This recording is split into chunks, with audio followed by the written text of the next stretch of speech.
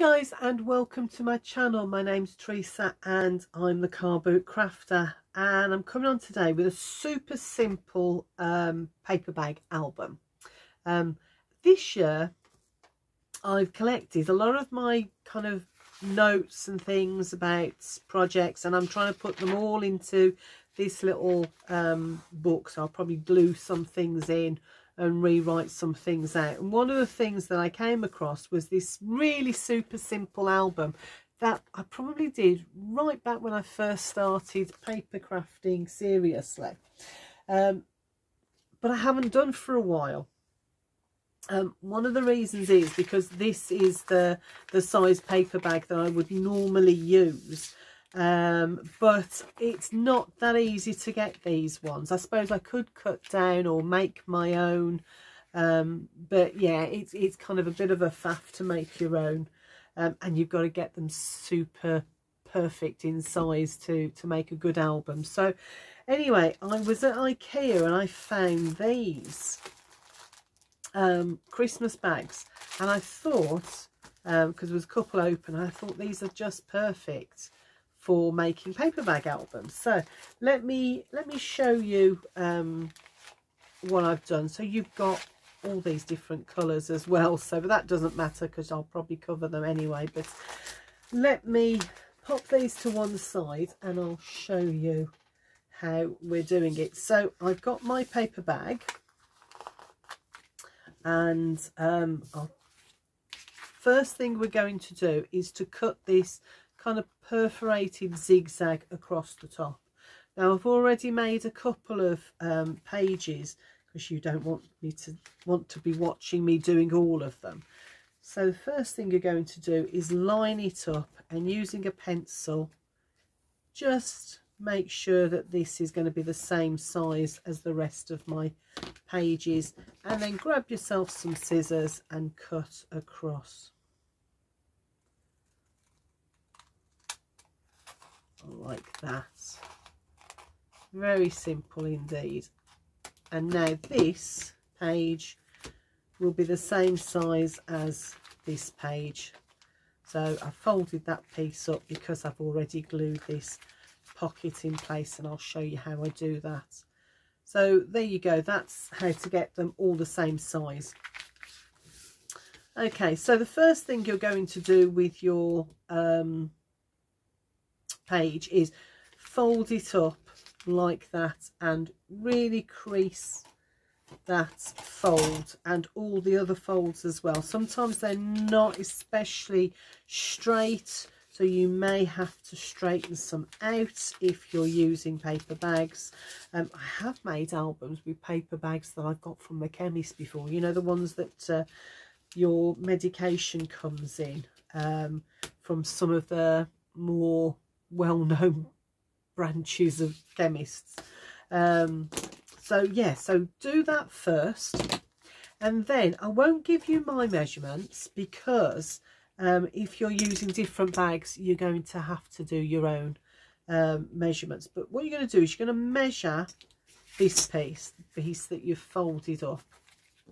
So measure that that way and then measure it that way then take a quarter of an inch or whatever off or you can you can have it the same size entirely up to you.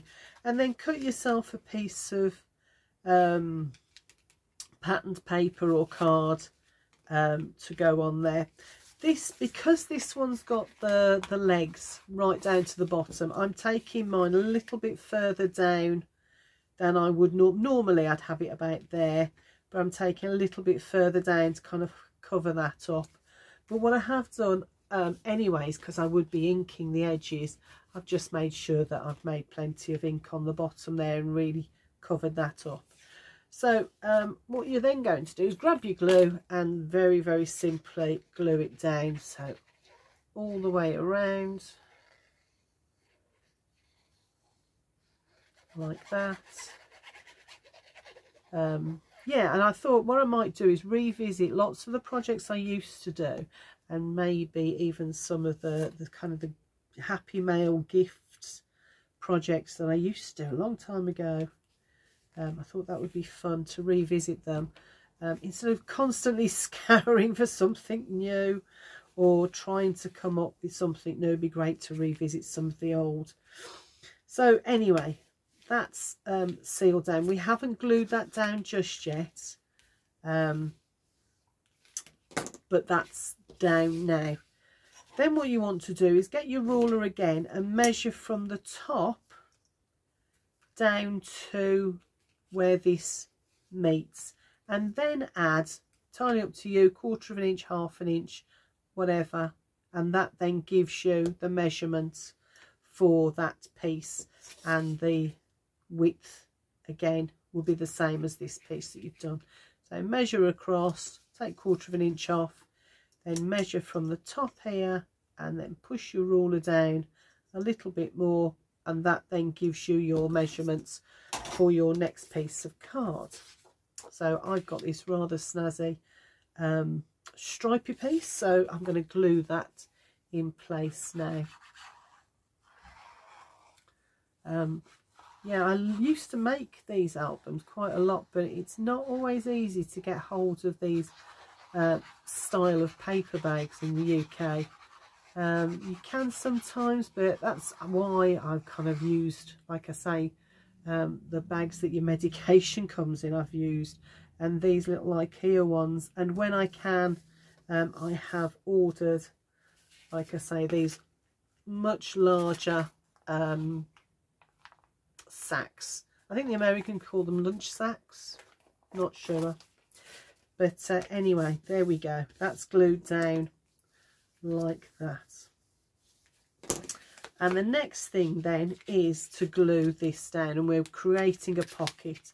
So first of all i you don't have to do this. I do just because it keeps it just that little bit tidier. So pull the base back and then just run a bit of glue on there. It's just to hold it in place. There's nothing um, it doesn't serve any other purpose than just to keep it a little bit tidy. Then using your glue or your or if you want you can use uh, double-sided tape. Um, run a bead of glue up both sides of the the base. So one side and then the other and this then when we fold it over creates our pocket. There we go. Just going to push the glue into the paper. There we go. That's our pocket that we've now got here. Um, I'm going to turn it over and while that's gluing I'm going to measure the back of my card uh, my bag my page which will be so measure it that way and again that way take off round about a quarter of an inch and cut your paper um, this is a little bit too long so I'm going to grab my trimmer and just take a little tiny slither um, off. There we go. That then should sit beautifully on there. And again, I'm taking a little bit further down on the bottom just to cover those legs up a little bit. Santa's legs. So again all the way around you could if you wanted make this into another pocket um, but I'm not going to like I say I'm keeping it super simple on this one um, and you can use any theme you like. I was very tempted to do this as a Christmas one. I know that Christmas is all done and dusted for for last year but um, we do take lots of photographs in our family and I do want to put myself an album together for Christmas. Um, photos to share with the family. So there we go. That's our page done um, last thing to do is I'm going to bring this one across line it all oh, now before I do that that's going to be my front that's going to be my back just want to check how I'm stacking it. Yeah, that's uh, right. So I want it facing the next page, facing it like that. And then I'm just going to grab a pencil, make sure I've lined it up. And I'm just going to run my pencil round as a guide. Don't need it to do an awful lot. But this then is, if I can find, there's my hole punch. I'm then going to use that to cut out a little uh, finger grab in there. So line that up carefully like that and punch that out. That gets rid of it like that.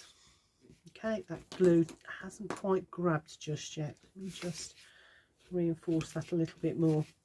So I'll hold it while it's grabbing because I'm now going to ink all my edges. Actually, if it hasn't grabbed just yet, let's do the top of that pocket first. There we go. And then do all my sides. So I'm using vintage photo on this one just to give it a little bit of a interest um, a bit more age. I do this before, after I've filled, uh, sorry, after I've glued all of the papers on, um, just because I want to get that age look across on my papers as well. You can do it before you add your patterned papers if you don't want to get the ink on your patterned papers as well.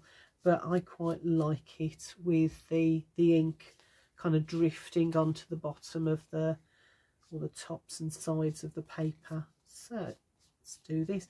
Paying particularly um, close um, interest there just because I've got a little bit of colour coming through from Santa's legs. Um, but I'm like say I'm, it doesn't bother me too much it doesn't bother me too much at all so, like I say, this is the simplest um, album. It's probably one of the first albums I ever made. Um, certainly the first paper bag album I ever made. But it's, it's sometimes it's fun just to revisit, you know, and I did enjoy making these when I could get the bags. Um, like I say, I did give it a go uh, making the bags um, and there's all sorts of tutorials on doing that. But um, yeah it just didn't work out because you've got to be so precise on the measurements and the uh, the folding and everything because otherwise your paper bag album looks a little bit wonky. Right now that's going to be the front.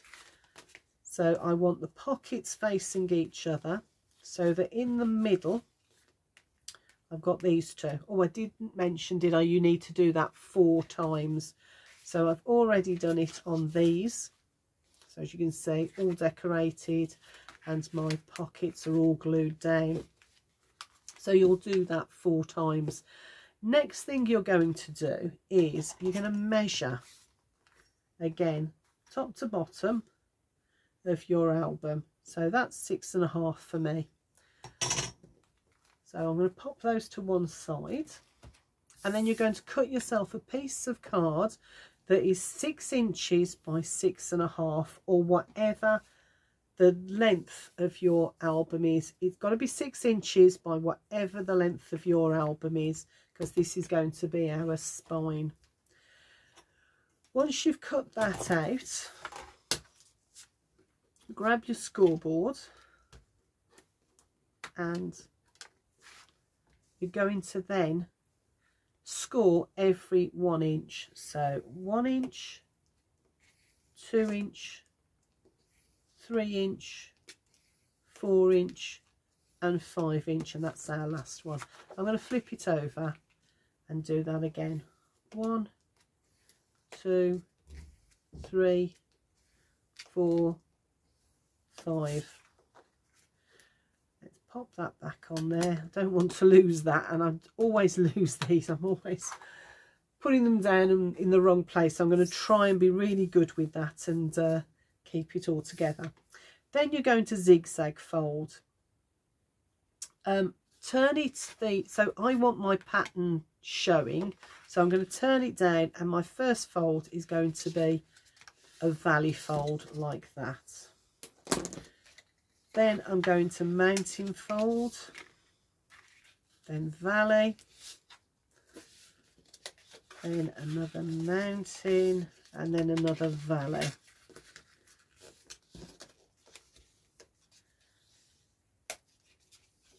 Like that.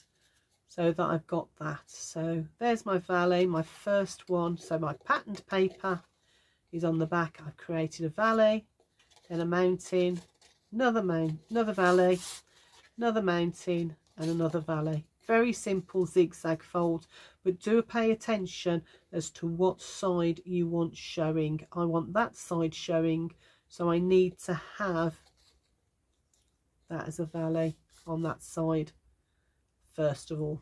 Okay? So once we've done that I'm going to open this up again and I'm now going to put some glue on these sides. So I've flipped it over so my mountains have become valleys and vice versa.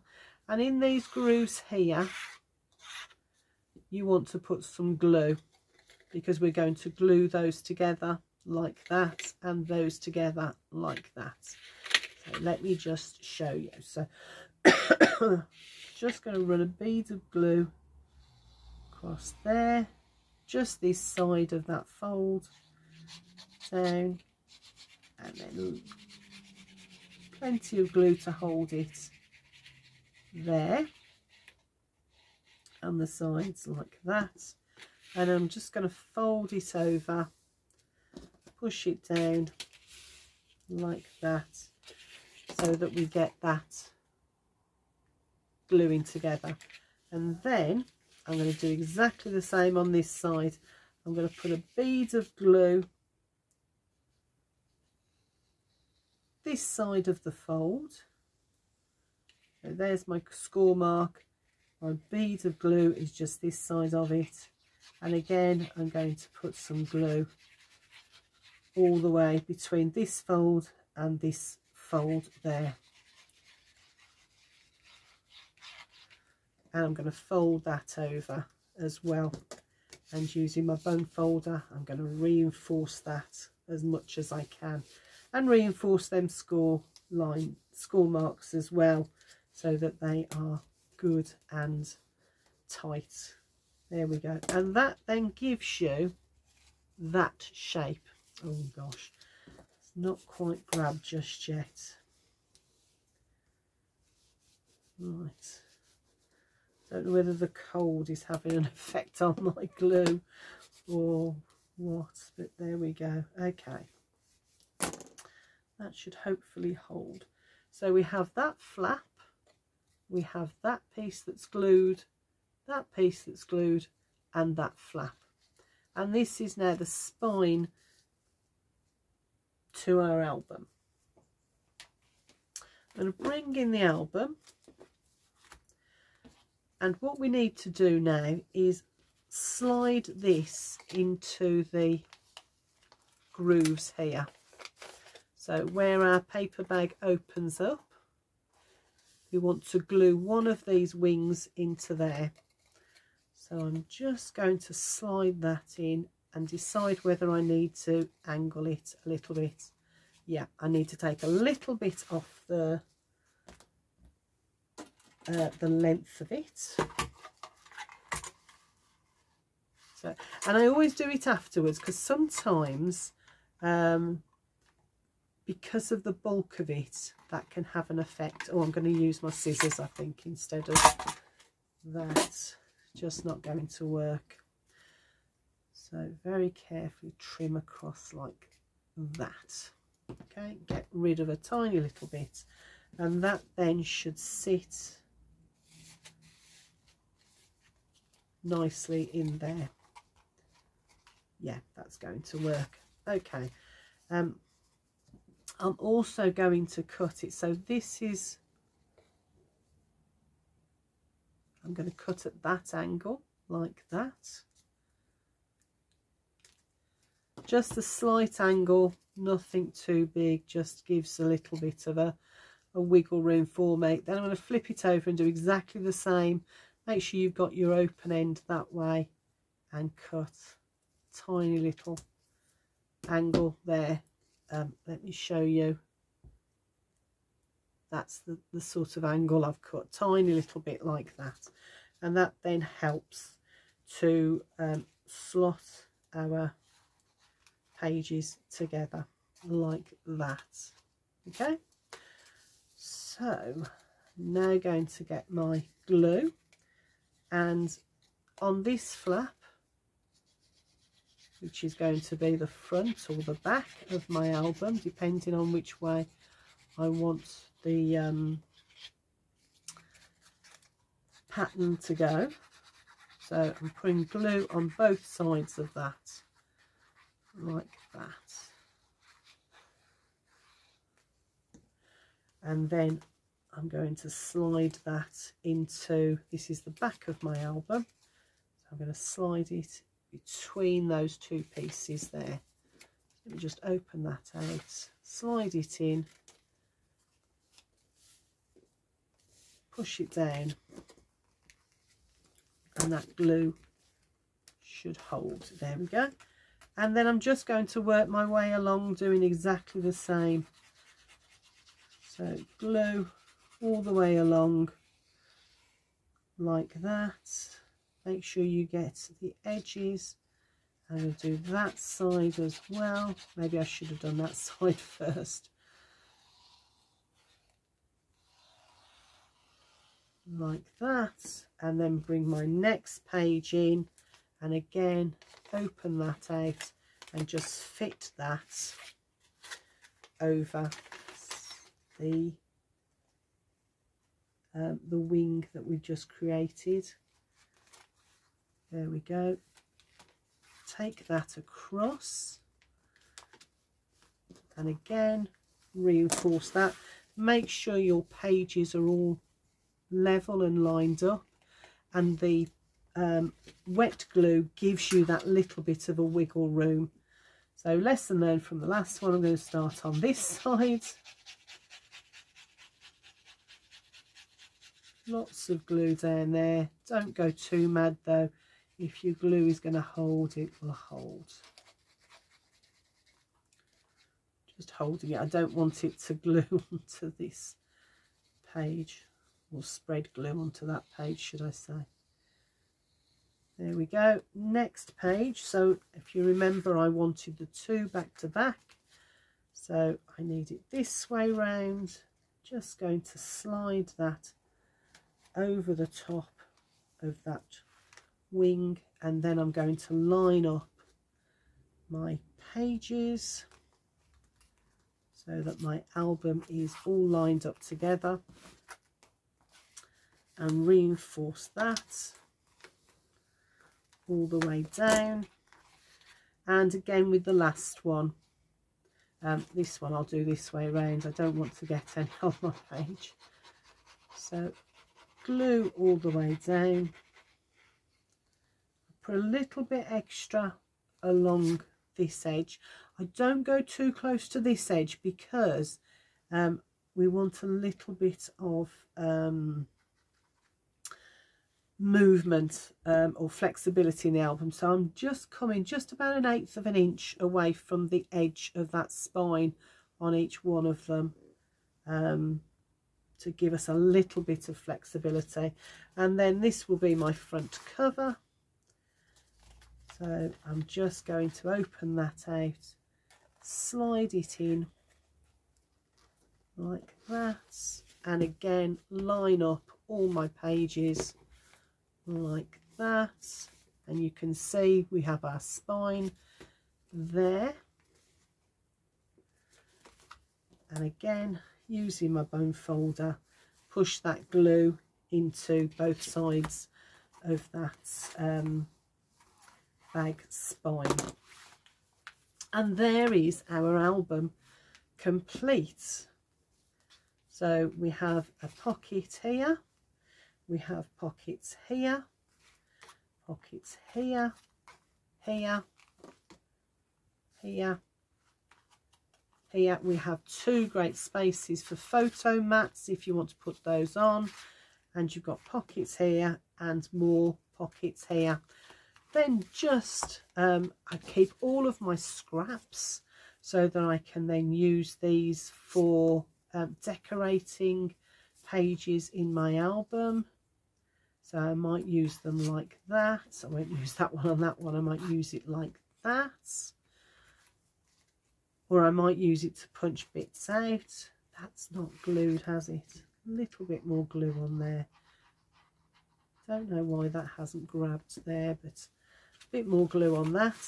Then cut yourself a whole bunch of um, photo mats and tags and all sorts that um, and I use all sorts of different sizes as well in these little albums just to give a bit more interest. And then you're just simply going to fill your album. So I can get I get two or three in here actually in these um, in the bag. So I'm going to put one either side of that gusset like that. Then I'm going to put um, a little tab in there. Actually I might put that one that side. Like that I might put a couple of little um, tabs like that in there. I might put one that side. Ooh, that's too wide for that one. That's that's one is definitely one for going in the top there. Like that. And I like them so that they just peep at the top there like that. Don't go any further than that. It's the way I like them. Do whatever works for you. And then we're simply stuffing our album with places to write or journal what I'll probably do is um, using the same ink as I use on the album itself and just go round just to reinforce those a little bit more on there. And like I say all of these are scraps so nothing is wasted. Um, I think in total uh, we've got four A4 sheets of paper uh, or card in this case along with um, four paper bags. And that's all it's taken to make this cute little album. And in the middle I might put um, something like that as a photo mat or maybe even a plain sheet so that I can write photos on there or something so that people can um, put their photos on there and then like I say, just keep stuffing your album with whatever you've got to hand that you want to use um, to create your album. Um, I'm going to carry on decorating this and stuffing it with uh, photo mats and tags. But uh, yeah, it's a cute little album. There's loads of space and the more the little um, tabs and photo mats and journaling spots you put in, the more photos and memories you can cram into it as well. And because it's made from paper bags, you've got so much space in there to cram even more. So yeah, I'm going to carry on making this. I'm going to decorate it up and I'm going to take a photo and pop it on the front of the uh, video. And yeah, hopefully I'll see you in the next video. Take care. Bye for now.